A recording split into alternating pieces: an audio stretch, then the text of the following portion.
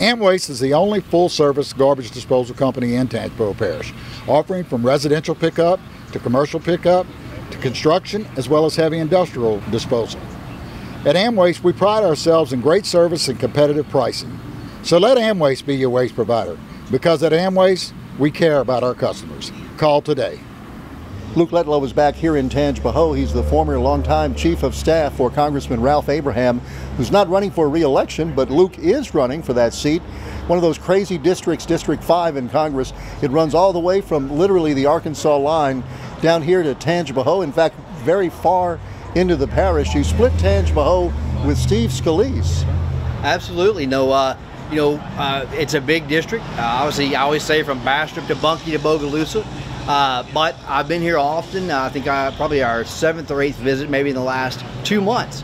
Uh, I want people to know me here. I want I want to be a familiar face.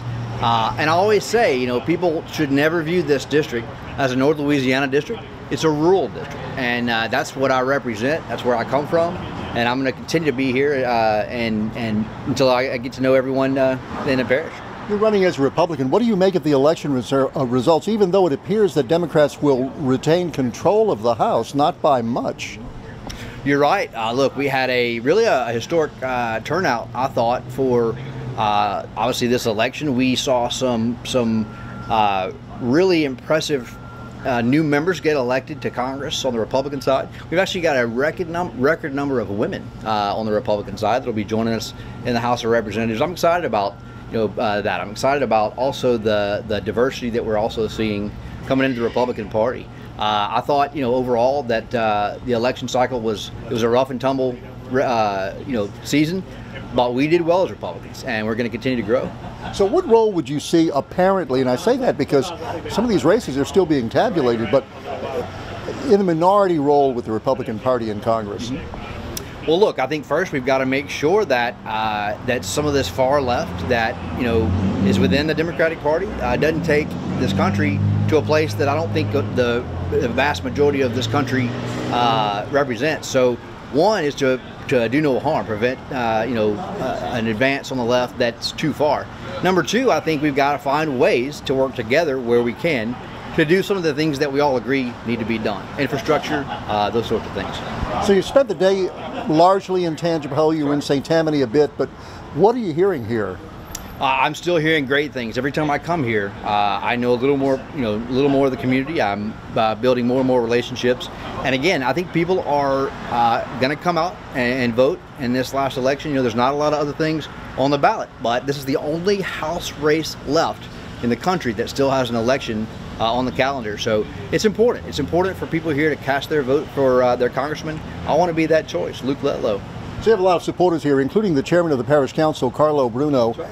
And I don't want to let him speak for you, but he is strongly suggesting that you may have an office in Tangipahoa after you're elected to Congress. I don't want to let him speak in vain.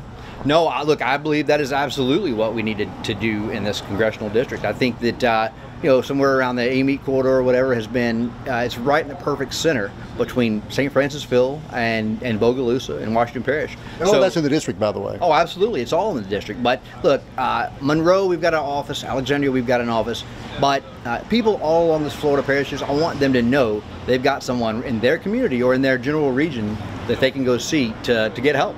I don't know how many people realize it, but so much of what a well an effective congressman does is constituent service on things like there's trouble with the IRS, there's trouble with some other federal agency, trouble with the Social Security check, trouble with veterans benefits, and that's really, in my opinion, where the rubber meets the road for the service a congressman can provide. Oh, I, I couldn't agree more. Uh, in fact, I think the, one of the most important things that you get uh, from your congressman is the ability to solve a problem you know, believe it or not, the government makes mistakes every single day. And God forbid, you know, you uh, you're owed something from the VA or you need, uh, you know, to get an appointment with the VA hospitals. The IRS uh, is holding money that is rightfully yours. That's what your congressional office is there for. Uh, you know, whether it's a parish government or a local government, Corps of Engineers. You know, if they're not quite doing what you expect them to do, that's again what we're there for. I've got a record of serving as a chief of staff, obviously to Congressman Abraham, which uh, I was over in terms of all of the casework that that we handled. We will make sure that uh, that people's issues are resolved and resolved quickly. Most important thing I think we do. And if you had a local office, I mean, a lot of what you're describing you wouldn't necessarily need a congressman to be there.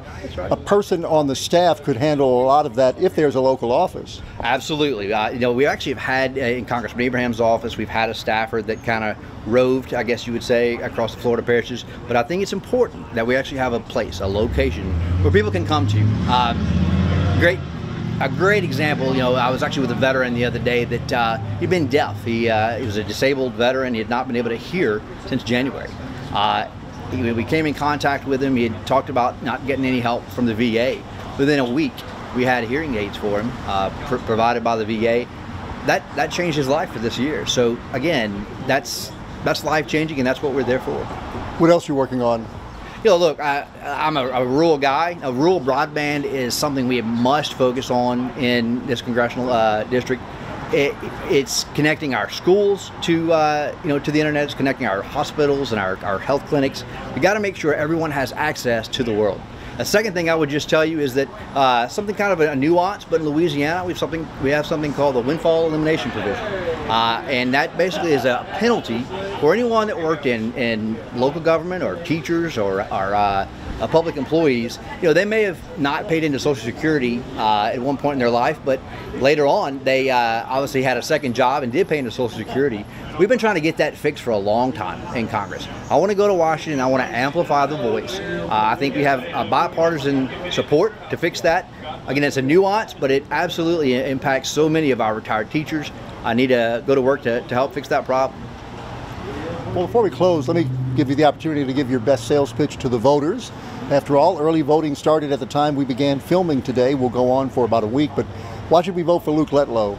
Look, I, I, would first ask for your vote because I'm a candidate that uh, has been here often. I think I'm the only candidate that has continuously come here uh, to seek your support. To me, it's that important uh, to be your congressman here in Tangipahoa Parish. But I'll also say I'm the only candidate uh, in this race that actually knows how to get results. You know, my opponent, uh, unfortunately, has got a record in, in the state legislature of somebody that's really quite, quite frankly, been self-serving. You know, passed, uh, tried to pass legislation that benefited uh, his own personal uh, situation.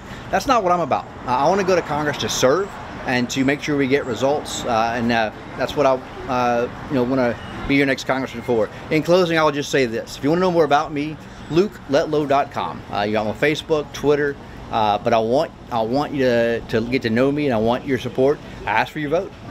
Sharkey is a local, licensed, and reputable HVAC contractor. They support Livingston Parish Public Schools and surrounding parishes. Sharkey specializes in maintenance, service, repairs of all HVAC equipment, and offering competitive rates. Call us at 225 222 3332 and find us on Facebook at Sharkey Mechanical Services LLC.